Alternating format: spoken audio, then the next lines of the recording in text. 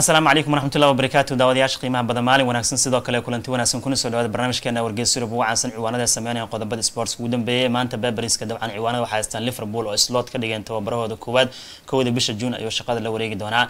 Dhankaas spain markii la aadanay gudoomiyaha kooxda barcelona waa yuan laborta wuxuu qaadanaa go'aan adag asigoo dabcan miiska soo saaray macalimiintii shaafi bedelaha mar kor iyo hoos barcelona shaafi way ka takhalusaysaa gudaha talyaaniga haddii la aadana saaxib yaal waxaa laga hadlaa maanta waa maalintii inter milan ee kambaniga america ocotry ay kala wareegi lahaayeen.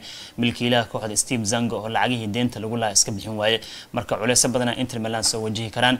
Sheekooyin kaloo xiise badanna way jiraan laakiin sida caadiga maalin kasta waxaan ku bilaabanaa question of the day ama su'aasha miiska noo saaran haddaba maanta su'aashan waxay noqonaysaa inay ku saabsan tahay ee koobka adduunkan aadaynaa waxaa sheegteen xulka kaalin saddexaad koobka adduunka tirada ugu badan ku dhamaystay xulka magaciisa iyo inta jeer uu ku dhamaystay kaalin saddexaad ayaa laka doonaya. Dabcan barnaamijka qaybaha dambe su'aasha jawaabteeda bixin doona. Xulka kaalin saddexaad koob adduun ku dhamaystay tirada ugu badan uu galay. Iyo sidoo kale xulkaas magaciisa dabcan kaalin saddexaad ugu badan world cup gala iska doonaya jawaabta soo dhiibta markaana ka bilaabna beberiska ingiriiska ninkii xiirana arne slot rasmi loogu dhawaaq kooxda liverpool in loo dhiibo wuxuu dhahay finod waa joogi kara laakiin banoni wuxuu dhahay waa maalinba meel ayay dabcan ka shidan tahay. Maanta wuxuu leeyahay marka finod fursad finod ma joogi kara liverpool inay ka faa'iidaystaa fursadda iyo soo bandhigta. Inkastoo jecel fara badan uu ku haysto finod maamulku way soo fasaxeen sagaal milyan oo bana dhaafsadeen kooxda liverpool wuxuu u noqonaa tababare. Haddaba arne slot saddex sano contract uu qaatay akhbaarta wanaagsan ay jirta waxay tahay ciyaartooyda waaweyn ee kooxda ugu muhiimsan sida saalax fandag alison kulli way garab istaagi doonaan oo kaloob kaliya meesha ka baxi systemkii liverpool oo dhisan ayuu qaban doonaa. Laakiin macalinkan wuxuu maraa xilli tijaabo ayuu maraa oo boqolkiiba boqol awooda kaloob uu kooxda kuma lahan kaloob wuxuu ahaa managerka guud ama maamulaha guud ee liverpool. Go'aan kasta asiga iskala haddee noqoto ciyaartooy keenis ciyaartooy daris mustaqbal kooxda qaabka loo jihinayo talo walbuu lahaa. Laakiin arne wuxuu ku ekaana oo keliya head coach ku ekaan doonaa macalin ku ekaan doonaa taasoo ay ka dhigantahay dhanka selectionka ciyaartooy xulista iyo ciyaaraha yaa maqan.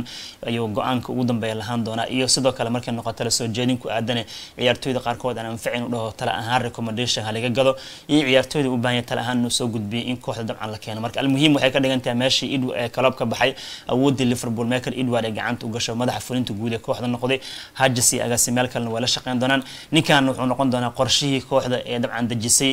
Iyo midka soo socdaba inuu asiga fulin doono fuliye kaliya noqon doonaa sida hadda muuqata strategic kooxda ma dejin doono. Marka slot nasiib waxaan leenahay shaqooyin culusna u yeelan ku aadane filashada laga qabo kaloob ninkii bedelo waxa laga filanaya wax saaran ma ahan. Beeberiska ingiriiska sidoo kale waxaa laga hadlaa saaxiibayaal yuurada oo xulka ingiriiska maanta southgate uu ku dhawaaqi doono ciyaartooyda u matalayaan saddexda libaax lix iyo labaatan ciyaartooy ku dhawaaqa maanta xilliga lange timeka labada b m markay british time ama lixda markay ama labayo tobanka xilliga markay duhuradii geeska africa sidoo kale ciyaartooyda manchester city xafladii ku dahayn baartigana dabcan beberis ka muuqda xilli guardiola uu dhahay xafladii intaasi nooga eg tahay diyaar garow ha loo gala axadda iyo kulankan wajahan fa cupka manchester united. Then wuxuu sabdigan dhahay sabdiga markay koobkaas ciyaaraan kadib wuxuu leeyahay axadda dabaaldeg ma ahan waxaa rabtiin sameeya marka haaland iyo jack grilish iyo asxaabta jecel dhafro liska caweeyo. Guardiola wuxuu dhahay marka nf meesha noogu ekaato weekendiga iyo isniinta ugu dambeyso. Kadib wuxuu let's prepare aan diyaar garow diyaar garow sameyno tababar adag qaadano. Sabdiga iyo wembley noo balaneh kadib wuxuu leeyahay shaqadaas markaan dhamaysano qof walbaba meeshii uu doono xafladuu raba aada iyo meeshuu doono dabcan ha ka dhaco. Sidoo kale beberiska ingiriiska waxyaabaha laga hadla waxay tahay mustaqbalka eric tanagi murushi bujatino toddobaadka dambe la ogaan doona weli waxaa le next monday. Isniinta dambe waxaa soo bixi doona in bujatino uu kooxda chelsea sii hogaamin doono iyo in dabcan shaqada laga qaadayo. Discussion badanaa jira ku aadana boja ma jooga. Inkastoo uu shaqeeyay kooxda yurub uu keena dan still waxaa leeyahay boqolkiiba boqol guarantee ma haysto inuu blue sii hogaamin doono. Ten hagna mustaqbalkiisa wuxuu ku xindaaban fa cupki wuxuu kala kulmaa dii man city ay ka qaado united yurub la'aan ku dhacdo. Macalinka holandeeska asigana ee go'aana laga gaari doonaa. Marka bal idin commentigina ka dhiibta bojatino iyo tenag yaa sii joogi doona yaa la diri karaa isleediin labada kooxood man united iyo chelsea oo go'aana qaadan doonaan. Qodobada gossipkii sheekooyin kale gudaha ingiriiska jira aan soo qaadana iyadoo gossip markii aan firin ciwaanka u qaadanaya saaxiibeel haddii aan si gaar u egno maanta iyo highlandska ciyaartooyda waxaa ka mid ah. Markii aan egno dhanka gossipka waxaa ugu horreeya macalinka lagu magacaabay Vicente Company oo kooxda Burnley hogaamiyo Serie ku laabatay Company waxaa dhulka ma dhacay sunas jirkan dalab wuxuu ka helay FC Barmujan oo rabaan inuu bedelo Thomas Tuchel sida Fabrizio Romano uu soo daawacay Bayern qorshooda wuxuu yahay Company inay siiyaan short term contract hal sano kale ama 18 bilood si shaqadiisa loo hubiyo. Haddii uu ku fashilmana macani weyn 2025 magacaabayaan haddii kale tan hal season kaliya markuu kooxda shaqo fiican ka qabto waxaa laga yaabaa qandaraas in la siiyo. Dhinaca kan qaar ka mid xitaa kooxaha Premier League-na baadi goob ay ugu jiraan Company si ay kaga faa'iideystaan mar Company kubad fiican waa ciyaaraa Championship-ka xilli ciyaareedka marka keenaya kooxda Burnley wacdaraha u dhig waa laga warqabay laakiin Premier League tabara u dayrisay kooxdii uu badbaadin waayay heerka labaad ku laabtay dhinaca kale ciwaanada kale kubadda cagta jira waxaa qeybka soo qaadan karnaa kooxda arsenal inta aysan bilaabin ciyaaraha barasiisonka waxaa ka go-an inay soo qaataan weeraryahan qeyb kasi noqo systemka arteta sii barto. Micnaha almuhiim waxay ka dhiganta xilli hore ganadis karaan weeraryahan inay soo qaataan. Waxaana u calaamaysan alexander isago newcastle ciyaar swedish oo afar labaatan jira iyo brian brobery oo labayo labaatan jira holandees oo u ciyaara kooxda ayax sida independent ee daabaceyso dhinaca kale waxaa la leeyahay saaxiibayaal aston villa waxay soo qaadan doonaan ama gacanta ku soo dhigan ciyaareenka lagu magacaabo ross barkley oo soddon jira kaasoo hadda season fiican ku qaadana kooxda luton town ayay soo qaadan doonaan. Soddon jirkan waxaan ka warqabnaa inuu haatan premier league wacdaraha uu ka dhigay awgeed xitaa layaab aysan noqon doonin. Hadduu qayb ka noqdo liiska yuurada maanta loo magacaabi doono sida the guardian ee daabaceyso dhinaca kale tababaraha lagu magacaabay kenan mcney oo kooxda ipswich town hogaamiye wuxuu fariimo ka helaa kooxaha chelsea manchester united. Haddii pochettino la dhacday inuu bedelo laga yaabaa haddii tanhag la dhacday waxaa laga inuu bedelo maadaama macalinkan shaqo qurux badan ka qabtay kooxda ipswich town oo premier league uu keenay sida haatan shabakada caanka min ee daabaceyso dhinaca kaletana kooxda wolves waxay ku wargeliyeen kooxaha man city iyo newcastle inaysan u dhawaan karin ciyaareenkooda garbaha ka duula pedro nito hadday u baahayn afar labaatan jirkan bortugiiska garbaha ka duul waa inay bixiyaan lixdan milyan oo bon sida telegraph ee daabaceyso saaxiibayaal kooxda aston villa dhankoodan waxay diyaar u yihiin difaaca brazilianka soddon kuwa jirka lagu magacaaba diego carlos inay iibiyaan. Dalab kastoo ku aadan way aqbali doonaan xilli siraaga talyaaniga baadi goob ee ugu jirto kooxda ac milan. Telegraph ayaa daabaceyso dhinaca kale tababaraha kooxda aston villa unai emry wuxuu doonayaa gacanta inuu ku soo dhigo ronaldo aruqo oo shan labaatan jira kaasoo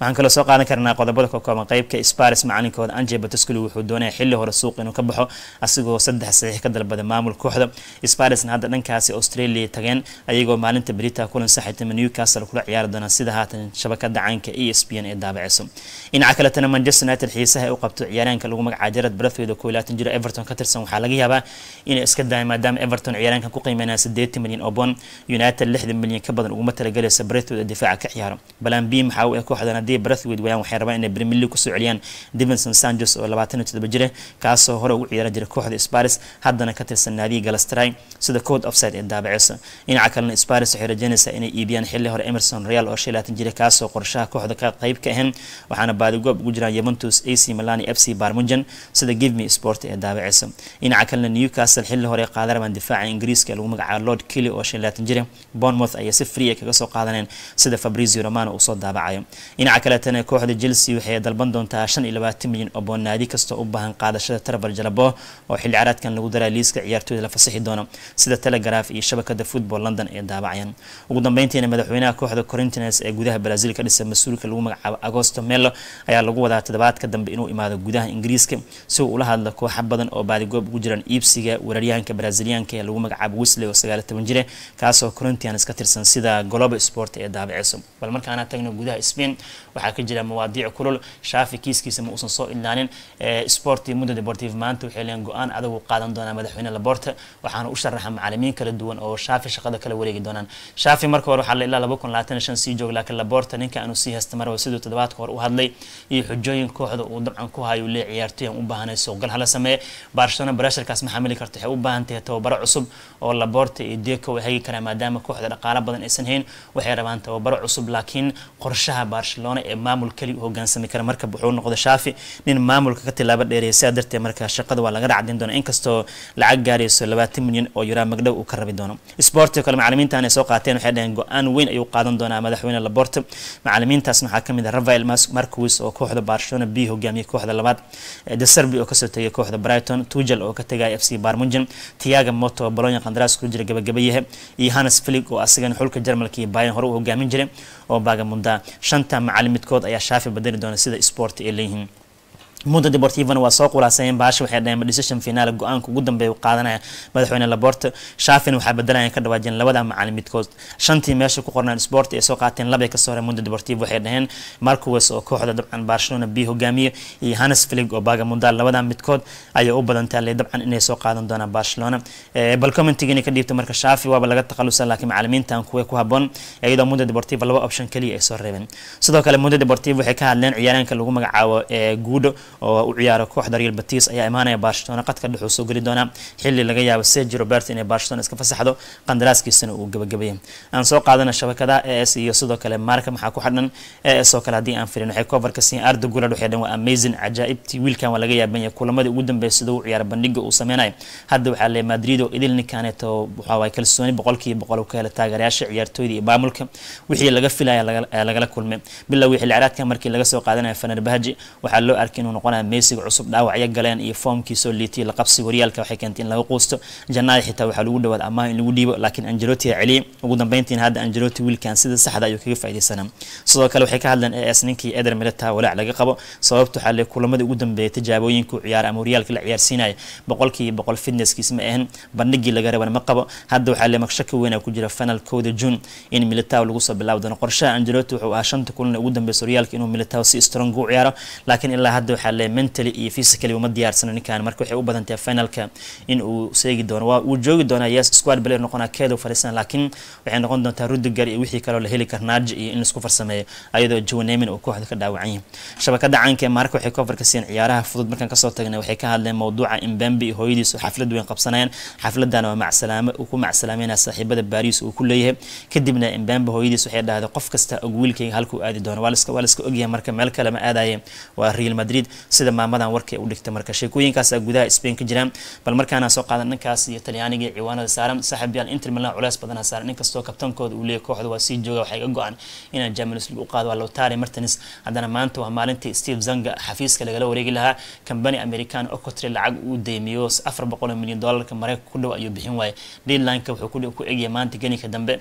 Internet company-gaas la wareegay inay xaraashayaan. Wax allaale wuxuu Steve Zanga la ay xaraashi doonaan inay inter ka reebanaan lama ogo. Bal Del Sport aan ku bilaawno maxay marka kuwa dhaheen. Gazette waxay saaxiib wareysi la yeesheen Lautaro Martinez oo koobkiisa wataa uu imaaday wuxuu dhahay Martinez inaan biladii labaad Inter Milan u xirnay oo taariikh sameeyay aad aan ugu faraxsanay week endigan horyaalka aan qaadanay. Laakiin ciyaaryahankan wuxuu leeyahay waxa hadafkay uu yahay kula guuleysto kooxda Champions League. Qandaraasna waa saxiix doonaa ka dhawaad waxaana u saxiixaa si aan taariikh u sameeyo Inter kula guuleysto UEFA Champions League. Kadib waxay ka hadlayeen Gazette waxay dhahay maanta waa maalintii company Octree ay la wareegaan kooxda Inter Milan. Heshiiskii waxay dhaheen deyntii lagu lahaa maanta uu ku egay Steve Zanga wuxuu noqonaa the end of the Zanga era. Maanta uu soo gabagabay awoodii Steve Zanga waxaa laga yaabaa ninka lagu magacaabo Bebe Marati in kooxda loo sii dhiibo uu sii hogaamiyo ayadoo waxaa le company Octree ay go'aan gaari doonaan Inter Milan toddobaadyada nagu soo fooleen kadib waxay ka hadleen Juventus iyo Bologna kulan crazy match ciyaareen saddex iyo saddex ku soo idlaaday. Sidoo kale tan ciyaartan Yildiz iyo Fagioli wacdaraha ay dhigeen ay Juve ku fakadeen. Thiago Motta mustaqbalkiisa waxa laga weydiiyay Juventus ma qabanay markii la wuxuu dhahay mustaqbalka ma rabtay inay kaga jawaabo horyaalkaas soo idlaado ka dhawaajiyay kadib ayaan ka hadlayaa. Dhinaca kale tan kooxda Verona xalay way badbaadeen kadib markii ay Salernitana ama Salernitana laba hal kaga badiyeen Serie A sii joogi doonaan. Waxay jaraa'idkan ka hadleen Milan iyo baada goobka ugu jiraan weeraryahan. Markaan waxaa le Cisco iyo ciyaaryahanka lagu magacaabo sarkiisa labadaas midkood ayay Milan soo qaadan doontaa. Waxay sidoo kale ka hadleen Europa League la iska imaan doona arbacada Atlanta iyo Bayer Leverkusen. Macani Gasperini wuxuu dhahay waxaa Leverkusen favorite eh. Sidoo kale wuxuu dhahay markaan Liverpool la ciyaaran ayaga favorite ahayeen taas waxay naga dejisay barasharka Liverpool waa reebne. Haddana wuxuu leeyahay barasharka naga dagay waxaan rajeynayaa ka dhawaad Europa League inaan qaadno. Asiga iyo madaxweynaha kooxda ee Bajluka ama Balyuka ayaa sidaas u hadleen.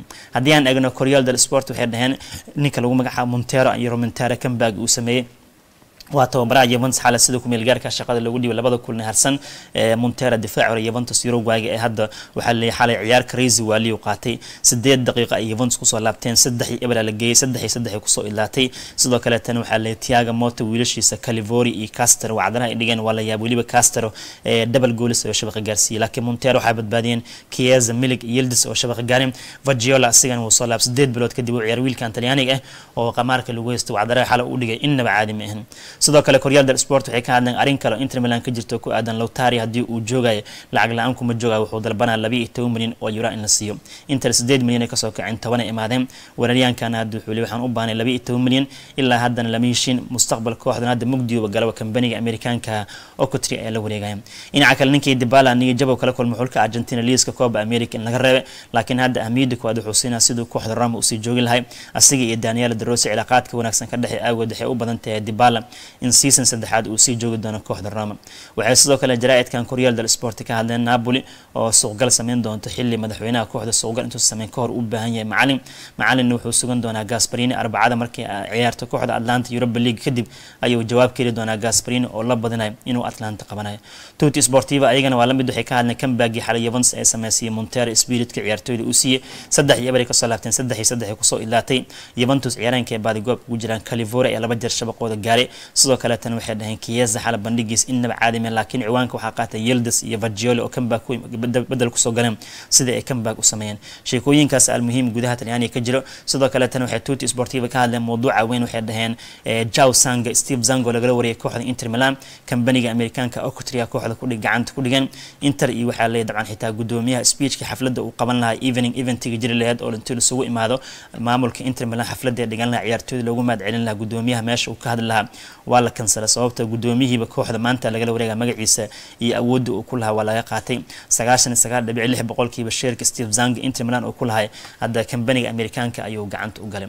Akhyaare sheekooyinkaasa maanta u waaweynaa qodobada kubadda cagta aan soo qaadanayna ugu dambeyntiina su'aashii maanta aynu weydiinay ama su'aasha question of the day waxay ahayd waxaa sheegtiin dalka dabcan koobka adduunka kaalin saddexaad. Inta ugu badan ku dhamaysta ama bilada maarta qaad dalkaasna waa xulka jarmalka oo tira afar jar ayay dabcan ku dhamaysteen kaalinta afraad si diiwaan gasha magacii hore west germany iyo jarmalkan hadda sida u midoobeen tan iyo sagaashankii tira afar jar ay ku dhamaysteen kaalinta dabcan saddexaad sida u diiwaan gashan world cupka waxaana ku soo xigaan brazil sweden iyo dalal kale oo ayagana u suura gashay saddex jeer ah inay ku dhamaysteen jarmalka ama west germany waxay ku dhamaysteen kaalin saddexaad sanadihii kale kun sagaal boqol soddon afartii toddobaatankii laba kun iyo lixdii iyo laba kun iyo toddobadii laba kun iyo toban iraadeen weliba laba tartan ugu dambeysay ku dhamaysteen kaalin saddexaad kadib laba kun afar tobanna koobka waa qaadeen. Brazil faransiiska poland iyo sweden ayagana min saddex jeer ayay ku dhamaysteen sida diiwaan gashan kaalinta saddexaad markay noqoto world cupka. Guud ahaan barnaamijkan intaasuu nooga egyahay xasuusin haddii aad tahay saaxiib nagu cusub janaalkan subscribe inoo saar waa inoo kulan dambe hadduu alla idmo asalaamu calaykum waraxmatullahi wabarakaatu